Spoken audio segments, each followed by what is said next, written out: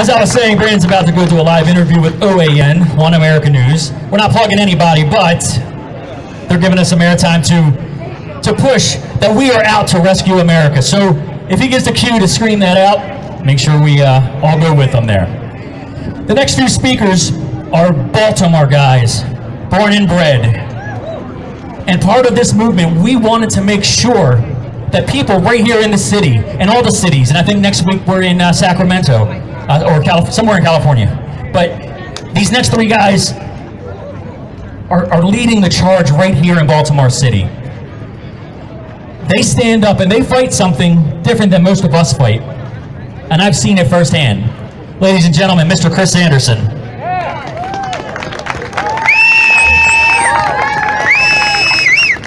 Welcome, Baltimore! And they say we couldn't do it. We couldn't put a rally on. We got Trump supporters here. We got uh, Walkaway here. We got some Democrats here, and we got protesters here. So I'm loving this. This is what it's all about: bringing people together, unity, bringing people to sit at the table and speak. You know, it's not always about violence. Some people said, you know, I don't want to go to Baltimore. But guess what? Baltimore, when we had the riots down here, the uprising, there were uh, people that were going to tear the city apart, and there was some community activists like myself, uh, 300 men that stopped that from happening. People had bottles and everything. We're not having that here at Baltimore. Baltimore is worth saving, and I'm glad every one of y'all showed up to make that happen, including the protesters. I just want to say something about Brandon Straka real quick. I would not be standing here if it wasn't for him. I met Brandon um, a little ways before the campaign started, before I became a walkaway man. And Murray, Murray, give a shout out to everybody. Murray, Murray gets credit. Our walkaway leader here in Baltimore. Raise your hand again, Murray. She don't get enough credit. She don't get enough credit. This guy says he was part of. Oh yeah, we were on right right side broadcasting. Murray, come up here for a second. Come here. Come here. Yeah. We got over 2 million views on Right Side Broadcasting. Y'all probably recognize us standing next to each other right now. This is the lady that got me on with Walk Away, that helped me walk away uh, from the Democratic Party and helped me to uh, start a new life with my conservatism. But it's not about that. Thank you very much. You want to say something?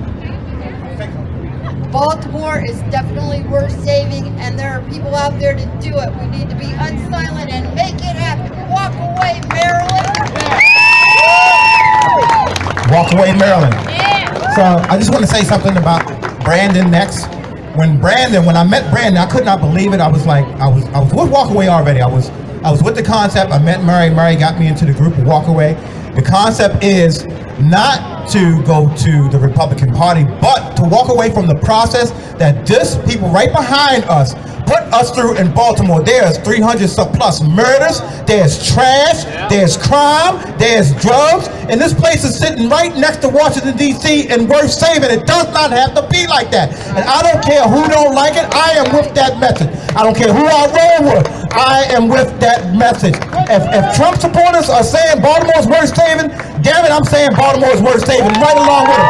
The people here should be saying that. The people here should be saying that. And to my protesters, I got a message for you too, my protesters. Freedom of speech is for you too, and I'm glad that you're here representing what you're representing. It's because of them that we're here. They're protesting. They came down here every day to say to this corrupt administration that we are tired of people, uh, be, lives being lost here in Baltimore, and now we're tired of people lost here being lost all over America. And I want to say this to y'all, our message is not that far apart. We want to walk away from that process, and we want to put a big a process in there that will work. Be it independent, be it Republican. I'm hoping it's Republican. I'm hoping it's Brand. I know it's Republican because we are the only ones with conservative values that can save this country. We support the First Step Act. We support low unemployment. We support um, sending money to uh, Baltimore um, City HBCUs. So we got to get people in Baltimore to understand that this is, this is a drop in the bucket. This is a red drop in the bucket, but we got to get people to understand. This is the spark. I'm glad Brandon started here. This is the spark. We got to get people in Baltimore to understand that they cannot keep voting the same people in that's going to corrupt, put trash on their street, and make their city look like hell, in turn making us look like hell. I represent Baltimore, and that's not what we're about. We want to save America too, so thank y'all. Thank y'all, every last one of us, for coming out and not being afraid, okay? Brandon is not afraid. I like that about him. He's not afraid. He's not trying to siphon votes away from somebody else. What he's trying to do is save liberal cities one at a time. So go to Walkaway and join with this man. This man means what he says, and I swear to you, when I met him, he's an honest person. I'm glad to be a part of a Walkaway member. Remember, I was a Walkaway member before I met him. So I, I, believe in the movement and everything that he's saying. And all you protesters over there with your freedom of right speech, you should believe in Walkaway too. Please give Walkaway a try. We are not, our message is not that far apart. Thank y'all very much. Now, I want to say something. No, I'm not, no, I'm, I'm sorry. I'm, I'm, not, I'm not done, Alexandra. I'm not, I'm not. Wait till Eugene boycott gets up here. You got to yank the mic out of his hand. Um, what I want to say about this, uh, this, this establishment right now, I want to tell everybody, just look behind you. You see this City Hall. It sits there as a beacon of light in Baltimore City, has sat there for a very long time. But it's been sitting there for 70 years and it hasn't gave up a damn thing for it. I am tired of administration in there that's in there not doing. We can't even get trash, trash cleaned up off the street. So I'm glad we out here and I can say that message to them to their face. My name is Christopher Anderson. I'm telling y'all right now, you should be fired for the poor ass job that you're doing in Baltimore City.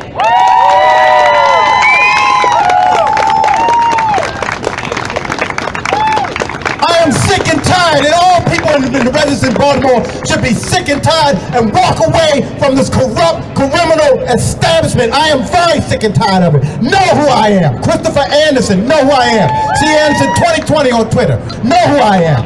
Also, our churches, our churches need to be standing with us. They're not standing with us enough. Our churches have Christian conservative values. For everybody that's watching, that's in Christ, in the Lord, I'm glad we led with prayer. You might not like some of these things. Religion is not that popular no more. But guess what? God has always stood with Baltimore. Always. He stands everywhere. But God, I know for a fact that God is here. And we need to bring the Christian community out and stop voting for the world and vote your conservative, Christian, biblical values. Stop being scared.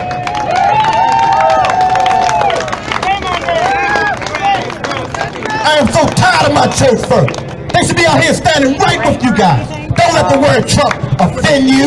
He's the one standing up for your biblical values and your uh, religious values and your freedom of speech to go forward in the community, change the forward, uh, community with Christ. Without you, this race is going to be very hard. So all our Christian community, you should get in line and start voting your conservative values. Also, I want to say also that I'm very tired. I mean, so many Christian, um, so many conservative values that's fighting for the city. I'm very tired of the trash. I'm very tired of the crime. I'm very tired of people thinking Baltimore does not mean it. You should you should hear the things I've heard since I started running as a conservative. You should hear the things I've heard. I, mean, you can just imagine Uncle Tom this, the trader that, and this and that. But guess what? The people of Baltimore that sit in their homes every day and then gonna vote the same establishment that's turn you say that turn you down. The only traitor to Baltimore is you. Okay? We are your heroes. We are your examples. If you don't know how to walk away from a corrupt establishment, we will show you how to do it. That's what walk away is for. That's why we are the heroes. And you can't, I don't want to hear another word, traitor word come out of anybody. If you're not brave enough to come out here and say the same thing, Democrat, Independent, or Republican, then you are the traitor to America as well as Baltimore. Yes, I'm frustrated, and I get to let it out today. I am frustrated. I'm frustrated with the people in Baltimore. I'm frustrated with the politicians in Baltimore. And I'm frustrated with the Charlton Perch in Baltimore. All of y'all are afraid. All of y'all, especially you Democrats that, that call yourselves Democratic voters. You're afraid to say it's not working. It hasn't worked in 70 years. You need to try something different. And if you can't try something different, at least walk away from the walk away um, the process. All I want to say is I thank Walkaway for having me up here. Chris Anderson, C, I'm sorry, C at C Anderson 2020 on Twitter. Look me up and everything like that. But I want to say one thing. We should all, including the protesters, we should all walk away from this process and look for something better that we can do that will unify us and bring us together. It's not about tearing us apart. It's not about tearing us apart. So yes, walk away. Walk away. Walk away. Walk away. Walk away.